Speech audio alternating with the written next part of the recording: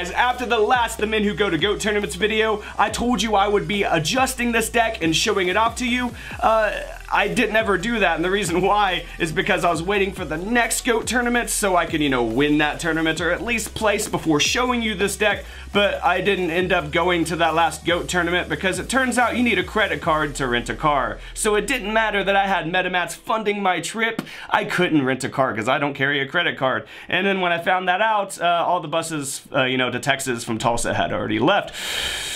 So I didn't get to go to that last uh, GOAT tournament. That's why there was not a Men Who Go to GOAT tournaments too, because, yeah, I will be going to the next one though. Better planning, right? All of our rides down to Texas bailed, so I got a hold of MetaMats, you know, to uh, sponsor the trip, and uh, I couldn't make it down to Texas. So uh, better luck for the next tournament. We'll, we'll, get it done for the next tournaments. But um, I also uh, promised Jinzo and Tonic that I would be sending him a deck profile for his uh, GOAT decks around the world series. So I'm going to be sending him this. So there will be an edited version of this deck deck profile for his channel, probably th without this intro part. um, and uh, you guys can go ahead and uh, check out Jinzo and Tonic's channel. I will, of course, have the link to his channel pinned down in the comment section. He does nothing but GOAT content. But um, let's get right into this deck profile, guys, uh, starting with the explanation. Um, this started off as a Beast Down deck okay? If you guys want more information on GOAT formats, what's legal, what's not legal, you know, research into the topic, this, that, the other, go to goatformat.com. Um, that's what I use for reference. You can also go to old forums if you really want to do some digging, but long story short, guys, Exarion Universe is not GOAT, therefore I had to change um, Beast down because um, if Exarion Universe isn't GOAT format, you just play three of it in every aggro deck and you just never lose flat out. It's it's ridiculous. So without Exarion Universe, there's a gap. There's a there. It actually uh, makes it more fair for non-aggro decks. It really does because um, having that 1900 defense, 1800 attack that could get over goat tokens, that could get over any face down, and uh, could take a blow from Parshath in defense you know, stuff like that.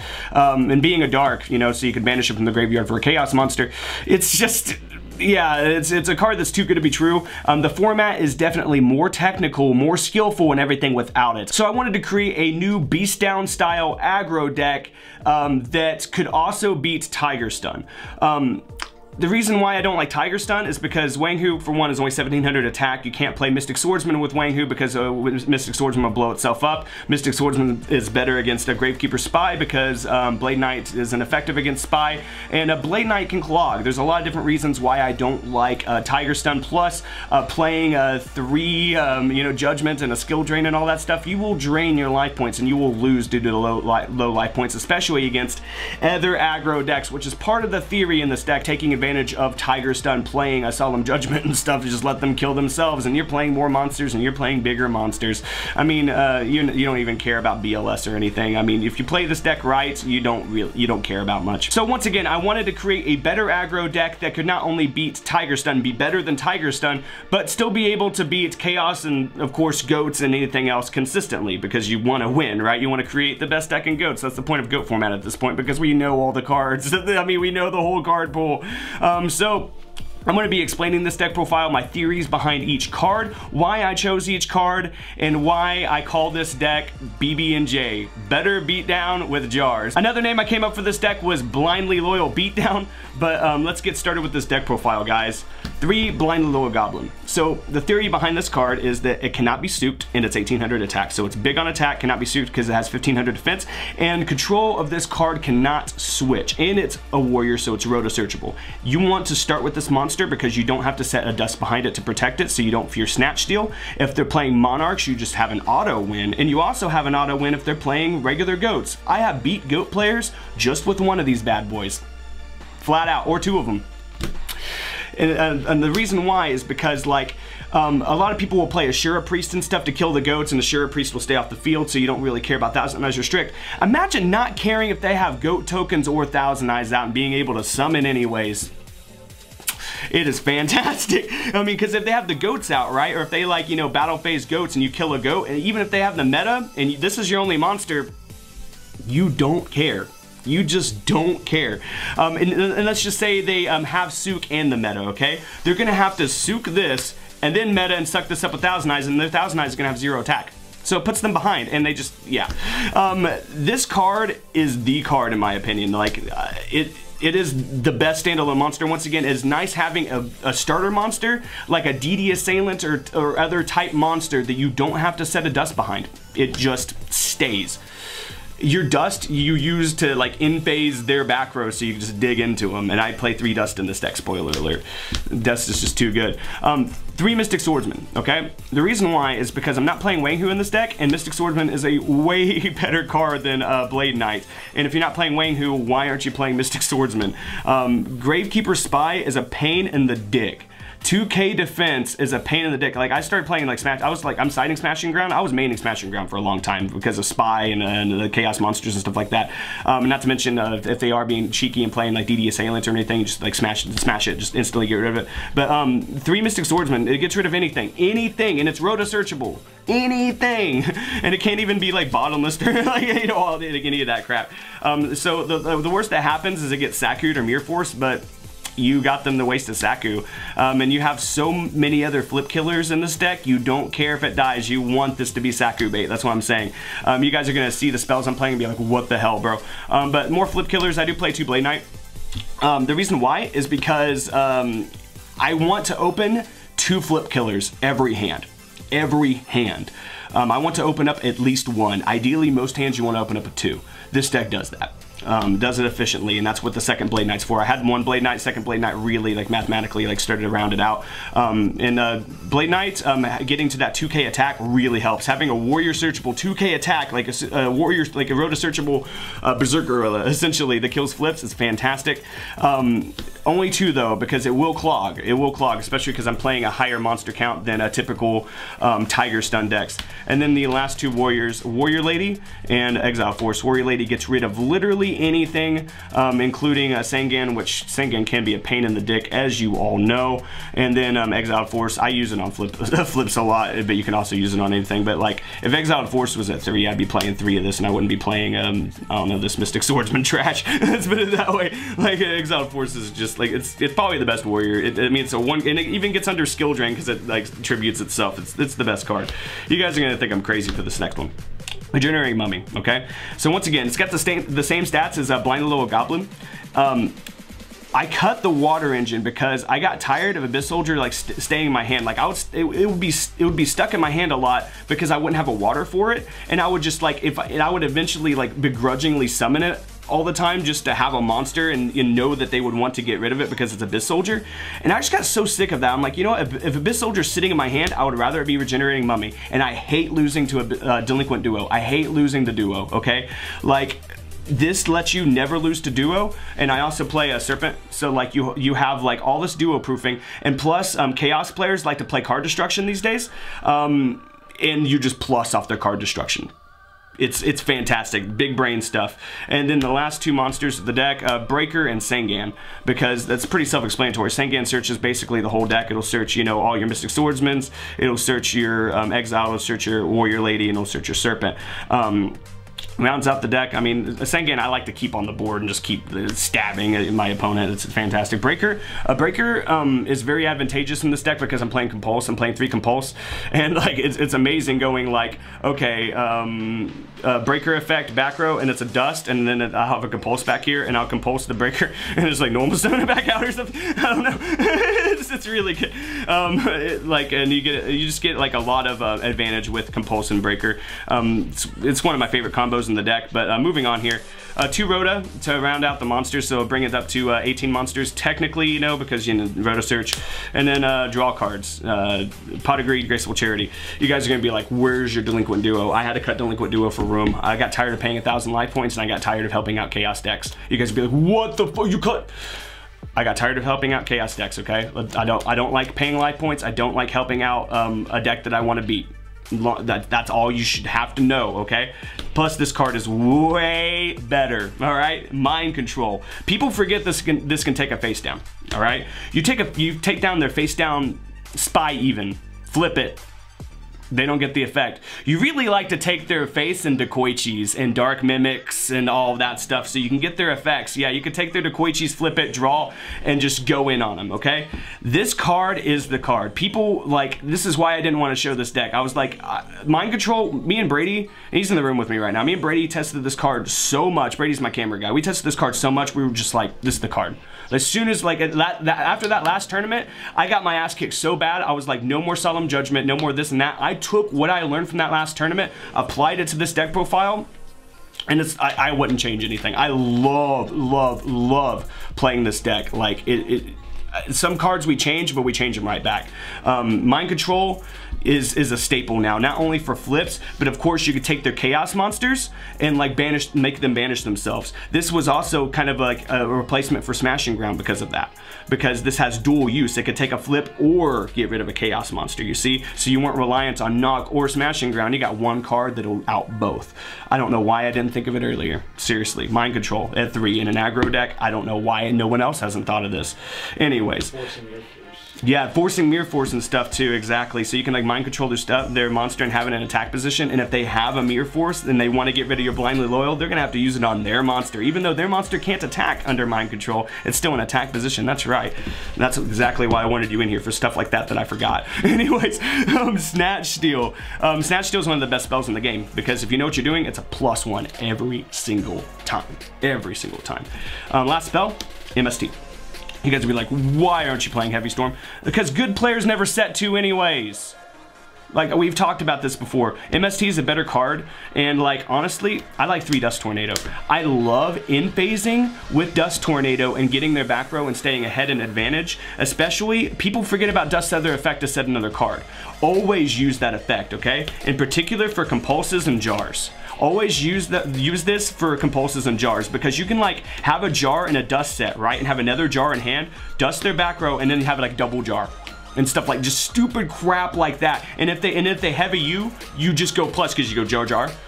I love opening up jar greed. You want to open up like blindly loyal, any flip killer, at least one of them, um, a jar of greed and a dust tornado it's just it's unfair it's unfair.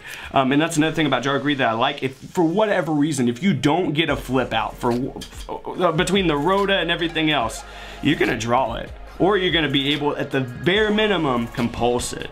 If you know it's a faith or something, just compulse that bitch. Uh, two Sakuretsu armor because um, this deck needed some defense. Um, went through a lot of different cards, even played like scapegoats in this in this deck at one point. Um, scapegoats clogs with Blade Knights. Um, you guys are also going to ask about Book of Moons, a combo with a Mystic Swordsman. I like Compulse better. I, I, like monsters being off the board. This is an aggressive deck. I don't want those monsters to be on the board. I don't want them face down. I want them gone. I want your life points to zero. That's all it comes down to. Um, Sakuretsu armor, like um, one of these could be a torrential uh, just because uh, I don't like scapegoats and I don't like uh, too many uh, Gravekeeper spies. You want to kill spy with a swordsman if you can, ideally, because uh, or uh, exiled force or warrior lady. But um, Sakuretsu armor will also get them if they switch them to attack and stuff. some chaos players will. But um, Ring of Destruction and Mirror, or I mean, I guess you can do it this way. Um, Mirror Force has better Sakuretsu armor, obviously it gets rid of I mean anything. Ring of Destruction's probably I mean it's one of the best traps. I mean it's chainable, burns you and your opponent, gets rid of a problem. Um, I like it a lot. If Ring was at three, I'd probably play three of it. I like having um, chainable cards. I really like having all chainable cards. The only non-chainable cards are like my defensive cards, and that's fine. You know, um, having I just like having the defense because um, it's also nice um, not fearing your Mystic Swordsman dying because he is so little on attack and backing him up with the Sakuretsu armor, um, stuff like that is really nice. Backing up a, a blindly little goblin with the Sakuretsu armor, if, if someone is a beast down player, is also very nice. Um, you know, backing up um, a, a blindly little goblin with the Sakuretsu armor for fear of breaker, you know, stuff like that.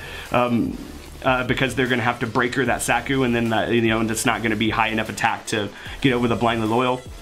Um, yeah, Sakuretsu Armor is just, uh, it, it's a card that you have to play because there's not a whole lot of other better cards. And that's really all it comes down to. Um, I, I, really do miss Heavy Storm sometimes just because I, I liked pro setting heavy with jars first turn, that was just disgusting. Especially if you drew like three jars and a heavy, and if they heavy you, you're like, okay, draw, draw, draw, and you get heavy my heavy, whatever. like, I don't care. Um, yeah, that's the only thing that I would try to add, though, is probably a heavy storm just to win harder, and that and that's it. And just uh, sometimes uh, you have to smart play, and or just like kind of dive bomb in, uh, you know, but yeah, that's the only thing I'll change is heavy storm just to be able to avoid that. But mind control, guys. Mind control I don't. I once again, I don't know why I didn't think of this earlier. I I don't know why. Stuff like this will happen in Yu-Gi-Oh, and I'm just like, do I even know how to play? like, I, I, don't know why I didn't think of this card earlier. Taking the Dekoichis, Fates, Mimics, um, um, a Merchant, anything of a Chaos deck and of a Goat deck or a flip-flop deck, you know, Pac-Man, anything like that. Like, it's, just so advantageous. And the double use of being able to get rid of a Chaos monster. Fantastic stuff. Uh, Mind Control is the card. I mean, even though you have to, even though the monster can't attack, and even though you give the monster back to them, I don't give a fuck your life points hit zero before mine do. I also didn't want to show this deck profile because once people um, start figuring out you're playing Jar of Greed, they're a little more aggressive with their spell trap destruction. Um, so they might actually snag your Sakuretsu armor, you know, like blind pop your Sakuretsu armor or your Mirror Force or something like that.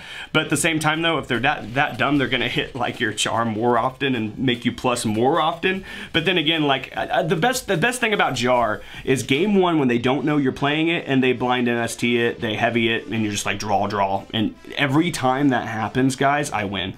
There has not been a game where that has happened where I've lost.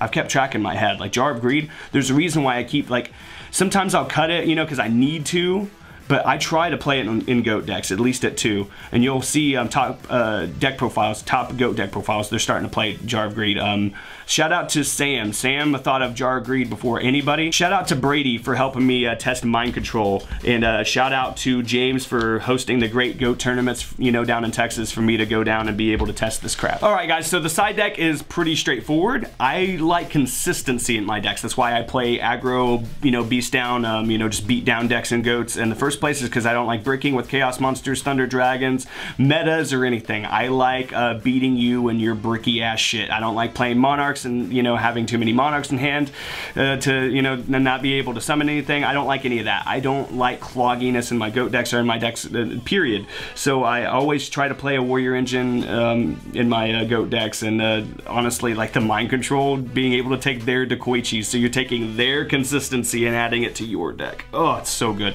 But um, the side deck though, three Kycoo, you guys would be like, wait, wait, wait, wait, wait, wait, Chaos Killer, you know, like why don't you why don't you main decking the Kycoo? Because this is Sook food. It's 1800 attack, but he's a thousand. Uh, no, not even a thousand defense. He's 700 defense. Yeah, see, like he's Sook food. That's why I don't main him. Um, I try to main all monsters that can't be sooked. Like if you notice, like the main the six main monsters that you want to summon and beat down with are 1800, 1500. Um, I, I, just don't like Tsukiyomi. Like, I mean, I, I mean, I, I like Tsukiyomi. I like, I mean, I, I, I've played it in, you know, previous, uh, you know, incarnations of this deck, but um, I don't like my monsters getting eaten up by Tsukiyomi. Tsukiyomi is a good card, guys. Um, three Smashing Ground. Um, so if you think they're going to put in Decree, or if you're playing against um, a beast down deck, uh, I don't know, if you're playing against Burn even that plays like uh, anything that plays a Big Shield Gardna, um, play this because uh, you are gonna win. Or like I said earlier, this used to be in the main deck because of Gravekeeper Spy, but then I just started getting better and didn't need to didn't need to main deck it. But um, yeah, you can you can main deck this. Actually, uh, me and Brady built a, a, more pure beast down deck where this is still main decked. Um, I would say, uh, you know, what, I'm just gonna give it away. Um, if you can main Light of Intervention instead of like if you feel like maining light of intervention instead of like mystic swordsman and stuff i don't know what to say. Like play this card. Like if you can play like a light of intervention don't need so many like uh, monster flip killers and you have like big monsters and you just want to dig in uh, play smashing ground. Especially if you're playing like crap like Zaloog or, or like um, spirit reaper because you just get rid of their monster and then like you know get that get, get that uh, discard effect in. Smashing ground is just it's just a really great card. Um, three bottomless trap hole um, the reason why is because uh, I don't like trying. like, so against like reasoning gate decks, um, I will call six for Jinzo. you know, they, they activate reasoning, uh, call six for Jinzo. And whatever comes out, Democ, it gets banished. You don't care. Um, that's that's that's. I mean, the, the only better card against Reasoning Gate decks, um, in my opinion, is uh, Curse Seal, the Forbidden Spell, or one of the only better cards um, that I know about Is Curse Seal, the Forbidden Spell, just because uh, you make it to where they can't activate another Reasoning or Monster Gate. You know, those are and it gets all you know all the copies from the deck. But I just play Bottomless uh, because it's simple and it also has a double use of being useful against um, uh, skill drain decks and uh, other beatdown decks. Like just anything they get out over 15, just bottomless, bottomless, bottomless. Uh, same with smashing. Um, you know, Kycoo you can side against Chaos, you can side against Reasoning Gate, you can side against Kycoo against a lot of different decks. I'll also put in Kycoo against um, other beatdown decks just to have another 18. Like I'll take out like Mystic Swordsman or whatever and put in another 18, just have another 18 in the you know the beatdown mirror match and still win because I'm playing better cards. Anyways, um, Trap Dust Shoot. Okay. Um, so this card I use against Reasoning Gate decks and snipe out their combo pieces. Um, use this against Chaos if you really want to like rape Chaos, okay? And you know you're going first, play three of this, get get their Thunder Dragon out of their hand, get their BLS, BLS out of their hand, get their, I, I don't care, just get whatever you want out of their hand. You also get that hand knowledge because you see their hand, you know if they have Mirror Force or not, and you know if they have Torrential or not. Trap Dust Shoot, fantastic card. Um, I just don't I just don't main this anymore. I, I, there was a point in the past where I mained it, and that was when I was just playing really, really aggressive. But any long game that I got into, like you hate this card, you hate it. Especially like when I was like when I was playing maining this back in the day, it was in Beast Down, which forced the top decking war, and they would never have enough cards in hand for this to activate in the top decking war. So I was just like dead drawing this. So um, I yeah I dropped this card in the main a long time ago because late game it sucks. Um, Early game though, just it's it's it's really good. It's really good. If you know you're going first, yeah, play all three of that. And then um, the last card on the side, Royal Decree, uh, because I don't like losing to Burn. You can actually side a Des Wombat as well if you don't like Burn, because it's a monster. You know what I mean? Like there's some good Burn decks out there, good Burn players out there. But uh, Decree gets them because they'll play like three Drain or you know what I mean, all like Secret Barrel and Just Desserts, you know, and all those things. Uh, Decree will get them. Um, you play Decree against any trap heavy deck. Um, like uh, I, I will play Decree against um, any Spirit deck that's trying to, or anybody being cheeky playing like Widespread Ruin or any of that. Any deck that's playing more traps than me, but like doesn't have the like quite the power I do or whatever. Um, I will take out my traps, put in my decrees and my smashing grounds, like it's stuff like that. It's it's pretty gross. Plus, like I, I, like to keep a jar in with with decree because you just activate jar, draw cards, and then activate decree. It's chainable. I like just chainable traps with decree is, is a plus. You want to side decree in any deck that you can in goats, guys, because um, you don't want to lose to burn you, it's, just, it's, just, not a good time. And uh, Decree is the best card against Burn and the best card against a lot of different decks. And uh, yeah, that's that's the whole thing. That is the whole thing. Um, you know, once again, shout out to Brady who's in here, um, who helped me helped me test this a lot. Um, I'm sorry if you guys think I'm crazy for cutting Heavy Storm and Delinquent Duo, but I wanted more consistent cards. There's like, you guys will see why I cut Duo. The first time you activate Duo, pay a thousand life points and uh, discard their light in their grave for them or you know, or whatever. Like a Delinquent Duo does hurt because losing a card is inherently, you know, losing a card. But uh, I just, look guys, I would rather that Delinquent Duo be a guaranteed flip out or something than you know, have a random guess at their hand, especially like, if, especially if I haven't seen Serpent yet or anything. And plus, another thing is Delinquent Duo is terrible against Night Assailant, and they are all manning Night Assailant now. Night Assailant's fantastic. I mean, I'm playing Night Assailant in my Chaos deck, and I'm also playing the tech I need to show you guys that people aren't playing in their Chaos decks. but uh, anyways, um, I hope you guys enjoyed this video. I have just been really trying to get creative and build a better beatdown deck using that uh, beast down top deck war strategy, but trying to use um, more useful cards, uh, cards that will, you know, stand up better on their own and have uh, more, you know, multiple uses. Uh, like I was saying, multiple uses when it comes to Blade Knight, being a flip killer, but also being a big monster. Uh, multiple uses for Mystic Swordsman, obviously getting rid of flips, but being better against Gravekeeper Spy, which more people are playing three of than Blade Knight, because Blade Knight doesn't do anything against that card. So double use, plus this like a chum blocker for, you know, Sakuretsu armor, stuff like that. Um, knock because I mean it's just the best card in the format. I mean all these cards have like multiple uses. Uh, uh, Dust Tornado, like I was saying, pop a card and set a card, stay up and back row advantage. Players hate that, you know. Uh, Blind Little Goblin though is the MVP. Like you just, I cannot say this enough. Set. If any other monster you would have to respond to a Snatch Steal with, right? Not this monster. Just get their shit. it's so good. It's so good. Once again though guys, I hope you enjoyed this deck profile. Shout out to Jinzo and Tonic. I hope this is what you wanted. And last but not least, yeah, shout out to uh, James for having all the cool GOAT tournaments down there in Texas for me to go to.